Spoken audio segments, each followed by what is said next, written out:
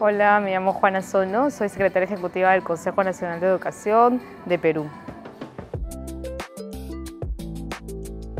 Bueno, el CNE es un organismo autónomo adscrito al Ministerio de Educación, responsable de la elaboración de políticas educativas de largo plazo,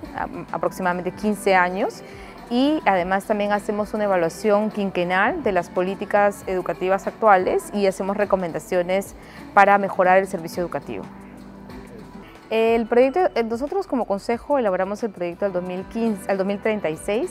eh, por 15 años y en la construcción de este proyecto educativo participaron 500.000 personas y eh, con ello se construyó la visión de la educación que queremos hacia el año 2036. Y la visión dice todas las personas nos desarrollamos, prosperamos, desarrollando nuestros proyectos de vida ¿no? y contribuyendo a la sostenibilidad ambiental. El proyecto es un documento amplio que ha desarrollado mucho, eh, varios eh, elementos de la visión, sin embargo el tema de sostenibilidad ambiental todavía no estaba desarrollado. Había una mención sobre sostenibilidad ambiental, pero no se había desarrollado y considerábamos importante en esta nueva gestión que empezó en el año 2023 poder desarrollar esa, esa,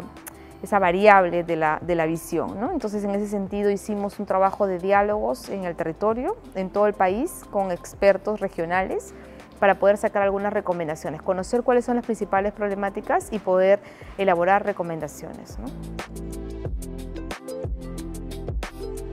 Bueno, en este trabajo de recoger información sobre sostenibilidad ambiental, nosotros hicimos un contacto con la Oficina de Educación para Cambio Climático y además también investigamos qué está haciendo en América Latina, ¿no? Y encontramos que está trabajando muy fuertemente en la formación docente, porque además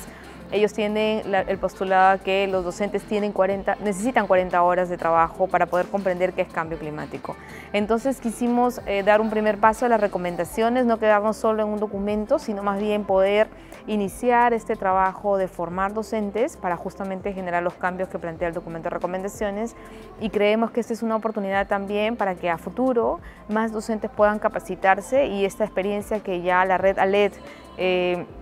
impulsada por la OCE en América Latina, en México y Colombia, pueda también incluir a Perú.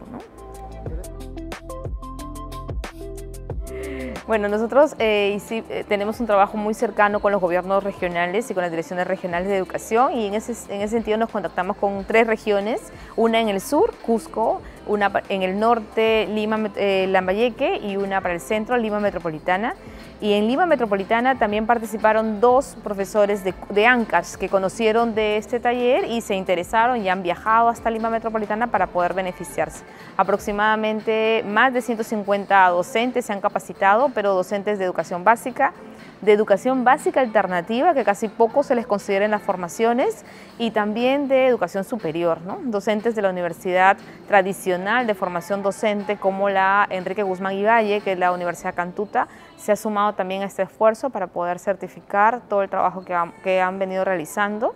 que no concluye en, los talleres presenciales, con lo cual hemos tenido la visita de los expertos de la OCE, sino también que eh, se espera que puedan implementar proyectos en el territorio y para eso van a contar con el seguimiento de las direcciones regionales y también de la Universidad de La Cantuta, el Ministerio de Educación también involucrado a través de la Unidad de Educación Ambiental.